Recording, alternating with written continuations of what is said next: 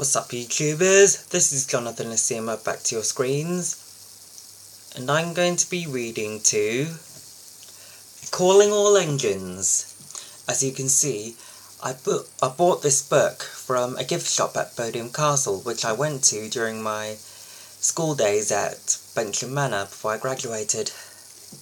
Here we go. Calling All Engines. In the summertime, the engines were kept busy collecting lots of visitors from the docks. One day, the Fat Controller told the engines an airport was being built on Sodor. It will bring even more visitors, so the island must be perfect, he said. Thomas and Percy talked about the airport as they moved wagons. Percy couldn't wait to see the aeroplanes. But then, 'Arry and Bert arrived Stinky steamies, 'Arry said rudely. Thomas thought the diesels were oily and mean.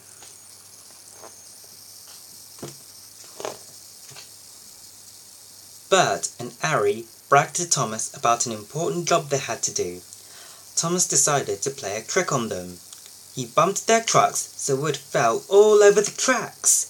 Oops, said Thomas meanly. Now you'll be late for your important job and he smugly chuffed away. Later on, when Thomas met Percy in the yard, they laughed about Thomas's trick. They didn't notice that Diesel was behind them. You won't want to stop me from doing the important job, Diesel said.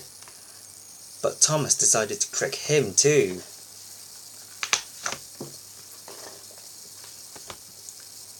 Thomas and Percy had to fetch steel girders from the smelter's yard, but when they saw Diesel 10 and his powerful claw, they were scared and left without them.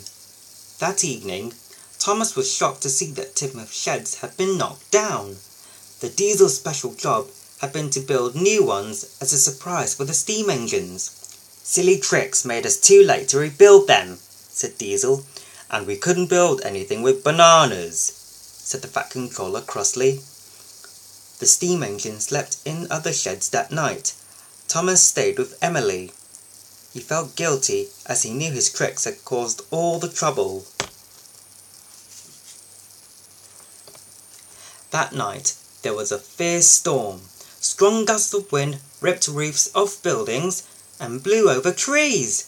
The engines were very frightened. A few hours later, some cables on the suspension bridge snapped. Suddenly, the heavy bridge crashed down into the valley below. The next morning, Thomas saw the mess. Bust my buffers, he cried, and he hurried to Tidmouth to meet the other engines. Unless we clear the storm damage, we can't open the airport on time, the Fat Controller said sadly. All the engines wanted to help. The Fat Controller told Thomas to take a beam to the suspension bridge. It is heavy, so you may need help with it. He added, A diesel wouldn't need any, any help, said Diesel slyly. I don't need any help either.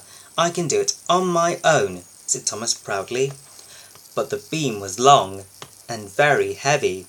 Thomas, pu Thomas pushed it slowly along the track. He was going to ask 'Arry and Bert for help, but they laughed at him, so he slowly went on by himself. When Thomas got to the bridge, he wanted to rest, but first he had to lift the beam into place. Slowly, it lifted into the air. Steam engines are better than diesels, he bragged, which made Diesel cross. Later, when Thomas was delivering paint, he didn't see Diesel behind him. We'll see who's best, Diesel said as he shoved Thomas's wagon. Sploosh! Splosh! Colourful paint splashed all over Thomas. Diesel laughed loudly as he rolled away. Before long, all the diesels and steamies were fighting. They got so dirty that soon they all needed to be cleaned at the washdown. The engines had been too busy arguing to do any of the repairs. No visitors will want to come here, said the Fat Controller crossly. The engines were ashamed. That night, the engines dreamt about what could happen if there were no visitors. Gordon dreamt he was used as a climbing frame. Thomas dreamt about Lady and Rusty, a diesel and a, ste- and a steamy who worked well together. This gave him an idea, but he needed Mavis's help. He decided to find her in the morning. Thomas knew Mavis was a kind diesel who would help him. Please bring the diesels to a meeting in the morning, he said. Mavis agreed. She knew something had to be done. But Thomas was a little late for the meeting. The diesels and steam engines were about to start arguing again when he arrived. We have to work together, he said. If the airport doesn't open, we won't have any passengers or freight, so we won't be useful. The engines agreed that they should forget their quarrels and work together. The Fat Controller was delighted. With all the engines working together, the repairs were soon done. The engines were excited to hear that the first aeroplane was on its way. But then disaster struck. As Thomas moved the last trucks, they hit a faulty buffer. They crashed across the tracks and bashed into a water tower. The water tower fell over, making a huge crack in the runway. It had to be repaired, or the aeroplane won't be able to land. Workmen cleared the runway, but they needed George the steamroller to flatten it, and Harvey needed help clearing the fallen trucks off the tracks. Thomas offered to fetch George and get more help. He was coupled to a flatbed truck, and as soon as Harvey cleared Harvey had cleared a track, he set off. Thomas went to find Diesel 10.